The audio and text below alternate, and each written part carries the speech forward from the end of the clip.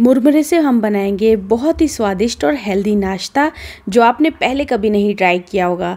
बहुत ही मज़ेदार नाश्ता बनता है ये और इतना लाइट होता है और हेल्दी तो है ही। तो इस रेसिपी को आप ज़रूर ट्राई करें और वीडियो को एंड तक देखें कि हम ये नाश्ता कैसे बना के तैयार करेंगे, वो भी मुरमुरे से। तो चलिए आज की रेसिपी शुरू करते हैं। अगर आपको मेरी रेसिपीज़ अच्छी लगती हैं तो चैनल को सब्सक्राइब करके नोटिफिकेशन बेल को ज़रूर ऑन करें। ताकि जब भी मैं कोई नई वीडियो डालूँ, आपको उसका नोटिफिकेशन सबसे पहले मिल सके। नाश्ता बनाने के लिए हमें यहाँ पे एक कप मुरमुरे लेने हैं, जिसे हम पफ्ड राइस भी बोलते हैं। ये बहुत ही ईजिली मिल जाएँगे आपको। तो इससे हम इंस्टेंट नाश्ता कैसे बनाएँगे, वो देखते हैं। तो सबसे पहले मुरमुरे को हम क्या करते हैं ग्राइंड कर लेते हैं, इनका पाउडर तैयार कर लेते हैं।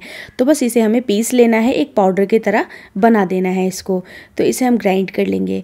ग्राइंड करने के बाद इसे हम एक बोल में निकाल देते हैं और इसे हम अभी रख देते हैं। आप देख सकते हैं, हमारा ये मुरमुरे का फ़ाइन पाउडर बन के तैयार हो गया है। इसके बाद हम एक अलग से मिक्सिंग बोल ले लेंगे और इसमें एक कप जितनी सूजी डाल देंगे।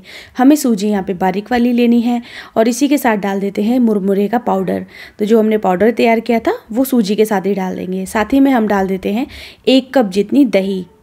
दही आपको हल्की सी खट्टी लेनी है। फिर हम क्या करते हैं, इसमें पानी भी डाल देते हैं, आधा कप जितना, और इसे मिला देते हैं। इसको आप तुरंत मिला दें ताकि ये अच्छे से स्मूथ हो जाए। तो अभी ये थिक हो गया है, पानी की ज़रूरत हमें और पड़ रही है तो आधा कप पानी मैं इसमें और डाल दूँगी। पानी आप ज़रूरत के हिसाब से ही डालें। हमें इसका गाढ़ा बैटर बना के तैयार करना है। जो घोल है, गाढ़ा रखना है, पतला नहीं होना चाहिए। और यहाँ पर आप देख सकते हैं, घोल बन तैयार हो गया है, गाढ़ा ही रखा है इसको। अब हम क्या करते हैं? ढक्कन बंद कर देते हैं इसका और इसे रेस्ट होने देते हैं दस मिनट के लिए। दस मिनट के लिए आप इसे ज़रूर छोड़ें।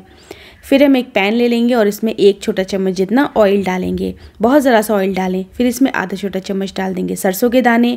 इसी के साथ इसमें डाल देते हैं हींग भी। तो जैसे ही ये सरसों क्रैकल होगी, इसमें हींग डाल देंगे। तो हींग से बहुत अच्छा फ्लेवर आएगा, हींग ज़रूर डालें। इसी के साथ ये हरी मिर्ची डाल देंगे। एक कटी हुई मैंने इसमें हरी मिर्ची डाल दी है, इनसे फ्लेवर बहुत अच्छा आएगा। इसी के साथ हम ये करी पत्ता डाल देते हैं। इन सारी चीज़ों को हमें हल्का सा भून लेना है इस ऑयल के साथ में। हम ये थोड़ा सा तड़का इसलिए तैयार कर रहे हैं ताकि बैटर में डाल सके और इस जो नाश्ते का स्वाद है वो और भी ज़्यादा बढ़ जाएगा इस तड़का की वजह से। तड़का हमारा तैयार हो गया है, इसे हम सीधा डाल देते हैं इस बैटर में। तो जैसे ही बैटर में 10 मिनट हो जाएँगे, उसके बाद ही आपको ये तड़का डालना है।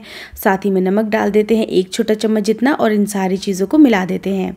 10 या उससे ज़्यादा समय के लिए इसे रेस्ट ज़रूर दे बैटर को।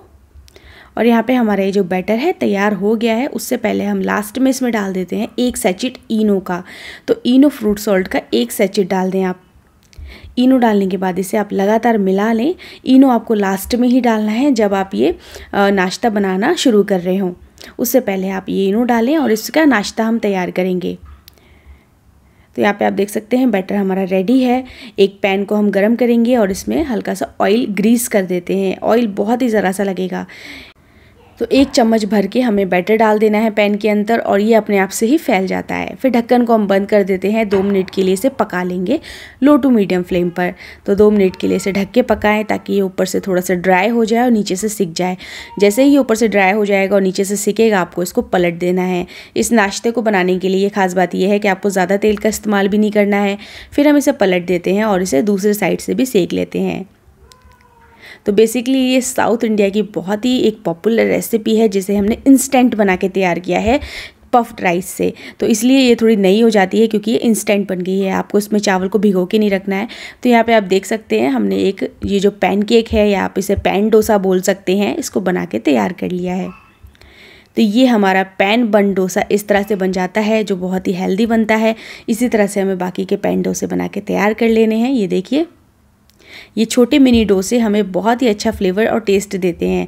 ये खाने में इडली, डोसा मिक्स लगते हैं मतलब आप इसे जब खाएँगे तो आपको मिक्स फ्लेवर आएगा। तो यहाँ पे आप देख सकते हैं हमारा नाश्ता तैयार हो गया है। इसी तरह से आप नाश्ता बनाएँ, बहुत ही इंस्टेंट बन गया है, ज़्यादा समय नहीं लगा है और बिना तेल का इतना हेल्दी नाश्ता कहाँ मिलेगा? तो आप इस रेसिपी को ज़रूर ट्राई करें, एकदम लाइट बनता है, खाने में बहुत यमी लगता है। आप इसे फ्रेश कर्ड के साथ खाएँ टोमेटो केचप के साथ खाएँ या साउथ इंडियन कोई चटनी बनाकर खाएँ, आपको बहुत पसंद आएगा। अगर आपको आज की हल्के फुल्के नाश्ते की रेसिपी पसंद आई हो तो इस वीडियो को लाइक शेयर ज़रूर करें और चैनल से जुड़े रहने के लिए सब्सक्राइब करना बिल्कुल ना भूलें। फिर मिलते हैं एक और नई रेसिपी के साथ।